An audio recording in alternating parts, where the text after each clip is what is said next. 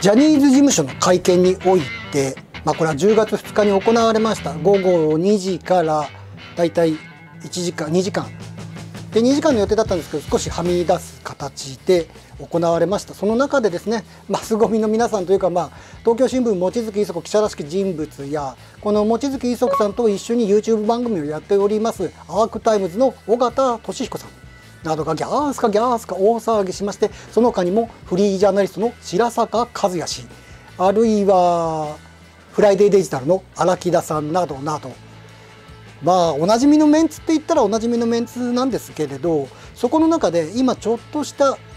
お話が出ております。まあといっても大体こんな人たちがですねギャスかギャスか文句言っているということでして例えばジャーナリストの江川翔子さんや、まあ、これに同意する形で水道橋博士さんだとか。ジャニーズ事務所側の記者会見が一問一答だということでこれについては記者会見が開かれる開かれたその時司会を務めていたのが元 NHK のアナウンサーさんということなんですけれど質問は一社一問。一社一問で指名をしますのでマイクが渡ってきたらマイクを持ってから質問してください。社名を名乗ってお名前を名乗ってから質問誰に答えてほしいかも添えて質問してくださいということ。これについてこの一問一答がおかしいっていうことで今ギャスかギャスか騒いでるんですよ。これをもってですね海外ではと言ってる人たちがいるんですよ。やだ面白い。やだ面白い。海外ではこの手の記者会見では時間無制限で記者が納得するまでずっと質問を続ける質問し続けるだとかあるいは一問一答でそこで遮られたら記者の側がこれに対して文句を言うだとか抜け抜けとおっしゃっております。大前提のお話しますね。この手の記者会見海外で見たことあります？いやもちろんこれゼロとは言わないです。とりわけお祝いの席だとか新商品の発表会とか黒いとっくりでおなじみの スティーブ・ジョブズさんのプレゼン的なあの新商品の発表会。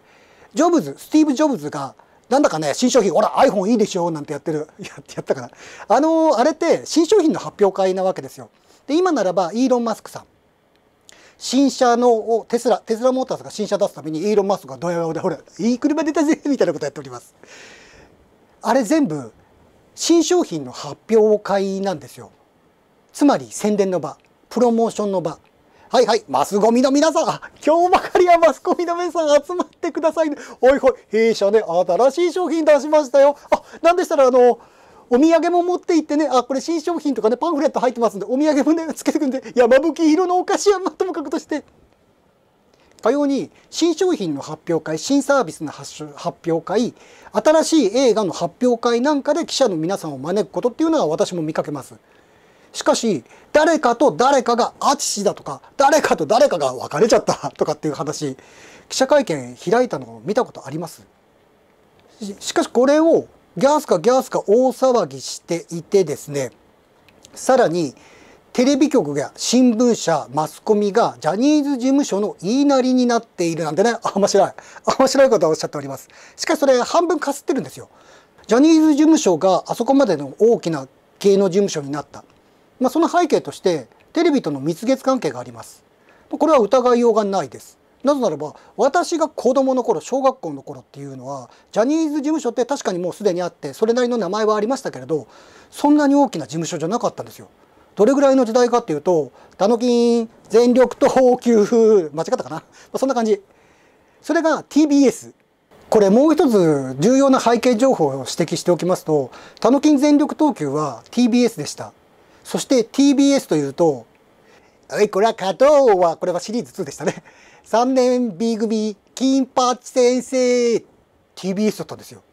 社会問題当時まあささやかれていたり具体的な問題になっていたりとかあといじめこれはあの有名な顔はまずいをボディにしたボディにした今三原淳子先生です今の国会議員三原淳子先生の顔はまずいをボディにしたボディあれが飛び出したのがその1作目の3年 B 組金八金八先生なんですよ3年 B 組金八先生の第1シリーズでトシちゃんえそしてマッチが売れた。で、この時のレギュレーションすいませんね。当時の明星だとか平凡情報なので、間違ったらごめんなさいなんですけれど、トシちゃんはその時のあ田原俊彦さんですよ田原俊彦さんはもう18歳かなんかになってまして一応中学3年生を演じるにあたって15歳だか16歳っていうレギュレーションがあったんですけどご利用し？ご利用し？なななんかなんかご利用し？その頃からなんだかその手の噂。噂は耳にしたという。それが3年 B 組金八先生でそれが TBS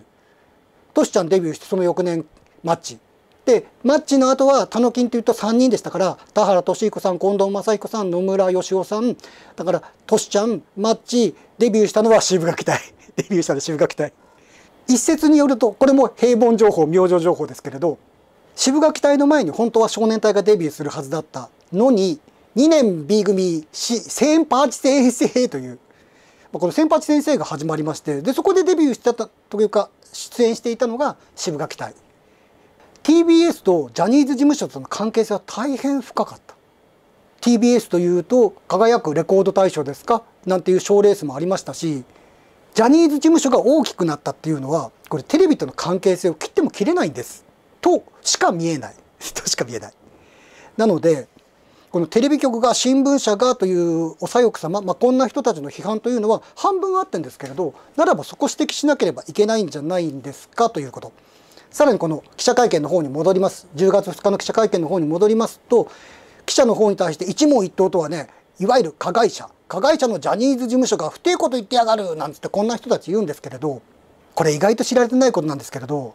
ジャニーズ事務所側が記者会見をセッティングしたんですね。あれ多分ホテルなんですよ。結構結構こちらね、するんですね。まあまあ関係性からいろいろと社長安い夢グループ状態になってたかもしれませんけれど、しかしあのセッティングどこがやったんですかって話。それがジャニーズはちゃんと答えない。いや、ですから新会社の発表会とあとは途中経過、中間報告です。例えばですよ、こんな人たちというかまあお左翼様が今回ギャスかギャスか言っているんですがあの人たちよく記者会見開きますよね。例えば今回も当事者のお一人が記者会見を開いた場所外国人特派員クラブだとか日本記者クラブだとかそこに記者会見をセッティングして東山紀之新社長あるいは藤島ジュリー景子代表取締役。命も忘れちゃいけないかな。井ノ原快彦さん。さらに言いますとその経緯を知る冒険家？冒険家としておきましょうか今回は。ジャニーズ事務所を離れましたけれどそのジャニーズアイランドの命の前の社長も招いた上で記者会見を開く。同席するのがねなんか気まずい 気まずいんであれば別々の機会でもいいんで月曜日から火曜日水曜日木曜日金曜日と毎日やればいろいろなことがわかるんじゃないですか？記者クラブでカクカクしかじかでやりますお招きを出してそして来なければ来ないということを報道すればいいんですよ。しかしジャニーズ事務所側が開いた会見でそこにのこのこと言って一人一問一社一問です。そんなの気に入らない認めないわがままでしょって話。これ方法があるんですよ。私一応 IT ジャーナリストになってますけれど IT 系っていうのは取材に行ってもほとんど答えてくれません。企業秘密だからです。なので周辺情報から集めていってそして公開しているプレスリリースだとか実際に動いているサービスを見てでそこでどういう仕組みになってるのかなどういうビジネスモデルなのかな戦略なのかなっていうことを読み解いていくんですよ。これジャニーズ事務所においてもできるんじゃないかというかこれできます。オープンソースインテリジェンスっていうんです。すでに公開されているさまざまなホームページだとか SNS の情報その人の動きなんかをトレースしていって多分こういうことが起こったんであろうと。その上でそこまで特定した時点ではいこういうことがありますけどこれはどうですかって本人に確認を取る。そこでもごもごもごもごってなったら明確な否定じゃなくもごもごもごってなったら、えー、答えに詰まりましただとか、まあ、こういう形で報道するっていう方法だってあるんです。もうこれすでに世界で使われてる方法です。いや昔からあったんです。SNS をたどるといろんないろんな情報が溢れております。そうしたことも付き合わせた上での記者会見での質問だったのか。東京新聞望月磯子さん指名もされていないのにというよりも会見が終わった終わったところで東山紀之新社長に対して東山さんは性加害性加害してないんですか？してません。してないんですか？してません。してないんですか？してません。してないのかな？してません。あこれちょっといささか話盛り気味にしましたけどこういうやり取りが続きました。あくまで噂だとか伝聞情報だとかのそれをもって一人何問も同じことを聞く時間の無駄でしょって話。まあ、海外ではやってません。基本的には代理人弁護士。代理人弁護士というのはその人の代わりですから。何かというと、世界基準で今回のジャニーズ事務所をめぐる報道をというよりはこのマスゴミ報道を見てると、海外の基準ならばアウトなことあります。望月裕則さんの確定もしていないのに性加害があったということを必要に聞くこと。これは人権に引っかかります。そうした自分たちの世界基準でアウトなことを放置しておいて、世界では海外では、いやだからそれやってませんからという話。ジャニーズ事務所とテレビ局の関係というのは、3年 B 組金八先生の頃から蜜月関係だったわけです。少なくとも TBS ですか？TBS の方にとことことこっと言って話聞けばよろしいんじゃないでしょうか。現在 TBS は佐々木隆社長だったかな。そしてその上にも日本民放連日本民放連の会長様だったかな、まあ、そうしたお偉いさんがいるんですその方が現役でテレビを作ってた時代まさに3年 B 組金八先生だとかの時代。はいどういうことかというと海外ではマスコミが質問させろ。赤坂行かれたらいいんじゃないですか、ね、望月磯子さん尾形俊彦さん赤坂あ赤坂無理だったら尾形俊彦さんは元朝日新聞サンフランシスコ支局長。そのつてを頼ってテレビ朝日テレビ朝日の早川博会長様この方ミュージックステーションを立ち上げた方として知られております。さらに言いますとニュース的なことで言うとニュースステーションを立ち上げてニュースがニュースがお金になる視聴率を稼ぐということを証明してみたのが現場時代現役時代の早川博会長様でございます。日テレでもフジテレビでもどこでもいいですよ。テレ東はそっとじテレテレ東は数少ないんでそっとじでこれについて間もなくね解散総選挙だなんて面白い噂が出ておりますけれど、まあ、その中でこの宮城チャンネル各界では毎週金曜日、えー、新馬和也国民民主党幹事長の会見を紹介しております。その国民民主党の玉木雄一郎代表国会議員として、まあ、これはズバリまさに本件において正しい指摘をツイート今ならば X のポストしておりましたのでそちら紹介させていただきます。ジャニーズ事務所をメディアは叩いていますがバッド会社とグッド会社に分けジャニーの名前を使わないことやジュリー社長も税制優遇使わないこと決めたりやることはそれなりにやってると思います。それに比べて前代未聞の人権侵害を放置してきた。大切なんでもう一回言っておきますかね。前代未聞の人権侵害を放置してきたメディア自身の検証や自己批判はないのでしょうか。玉木、よく言った。玉木雄一郎さん、よく言った。その通りです。玉木雄一郎さん、あの、バッド会社とグッド会社に分けるというのは、いわゆる企業再生なんかでは普通に使われる方法で、負債を抱えている会社はその負債を抱えて、この処理にいわゆる清算事業に集中する。一方、事業が健全だった場合には、この問題点を切り離すことによって、事業が円滑にいくと、これは社会的なメリットがあるという、これは民事再生法が改められた、えっ、ー、と、2000、20世紀の終わりぐらいですかね。それの1号案件が、あの、京樽さんで、私それ、あの、広告屋さんとして絡んで寄りましたんで、結構結構勉強しました。